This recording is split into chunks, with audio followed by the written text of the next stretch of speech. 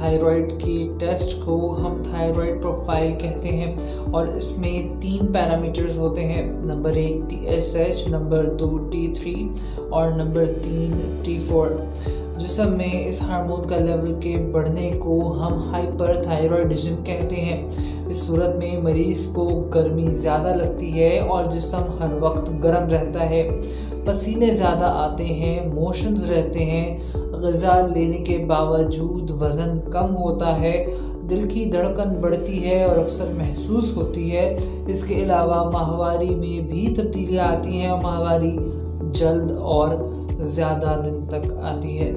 जिसम में इस हार्मोन के लेवल के कम होने को हम हाइपोथायरॉयडिज्म कहते हैं। इसमें मरीज़ को सर्दी ज़्यादा लगती है और जिसम ठंडा रहता है। जल्द खुश्क रहती है, कब्ज़ रहती है, गज़ा कम लेने के बावजूद वज़न बढ़ता है, दिल की धड़कन कम रहती है, माहवारी में तब्दीलियाँ आती हैं और माहवारी देर से और कम आती है। हमारा थायराइड ग्लैंड दो किस्म के थायराइड हार्मोन बनाता है नंबर एक टी थ्री और नंबर दो टी फोर हम खून में थायराइड हार्मोन की जिस मकदार को चेक करते हैं, उसे फ्री टी थ्री और फ्री टी फोर कहा जाता है।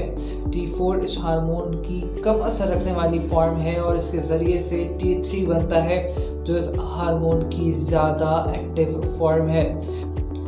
इसके बरअक्स टी एस एच जो कि मुखफ़ है थायराइड स्टमुलेटिंग हार्मोन का, ये टी थ्री और टी फोर को कंट्रोल करता है और जिसम में थायराइड हार्मोन के बढ़ने के साथ घटता और हार्मोन के घटने के साथ बढ़ता है। टी एस एच पैदाइश से लेके चार दिन तक के बच्चों में एक अशारिया सिफर से उनतालीस अशारिया सिफर तक नॉर्मल तस्वर किया जाता है। बीस दिन से बीस हफ़्ते तक के बच्चों में इसकी नॉर्मल वैल्यू एक अशारिया सात से नौ अशारिया एक है, जबकि बीस साल तक की उम्र के लोगों में सिफर अशारिया सात से छः अशारिया चार तक नॉर्मल तस्वुर किया जाता है।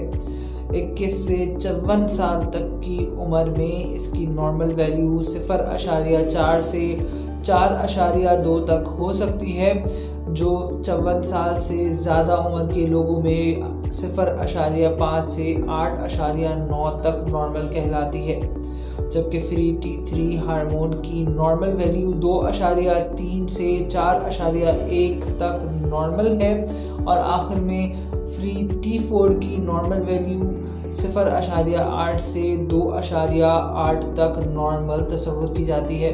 इस तमाम मालूम के बाद अब हम कह सकते हैं कि अगर किसी का टी थ्री या टी फोर बढ़ा हुआ है और टी एस एच कम है तो उसका मतलब ये है कि इसमें थायराइड हार्मोन बढ़ा हुआ है या हाइपर थायराइडिज्म है। और अगर इसी तरह किसी का टी थ्री और टी फोर कम है तो यकीनन टी एस एच बड़ा होगा और इसका मतलब ये है कि मरीज़ को हाइपोथायरॉयडिज्म है। दोनों सूरतों में डॉक्टर से मशवरा इंतहाई ज़रूरी है और डॉक्टर के मशवरे के बाद ही अद्वियात का इस्तेमाल करना चाहिए। ऐसे मरीज़ के जिनमें ये हार्मोन कम होता है, उनको अमूमन टैबलेट थायरॉक्सिन तजवीज़ की जाती है। और ये कितनी और कब इस्तेमाल करनी है, ये आपका डॉक्टर आपकी रिपोर्ट को देखने के बाद तजवीज़ करेगा। इसी तरह ऐसे मरीज़ के जिनमें ये हार्मोन ज़्यादा होता है, उनको अमूमन टैबलेट न्यूमरकाजोल और टैबलेट इंडिराल तजवीज़ की जाती है। और ये भी इस तरह कितनी और कब इस्तेमाल करनी है, या आपका डॉक्टर आपकी रिपोर्ट को देखने के बाद ही तजवीज़ करेगा।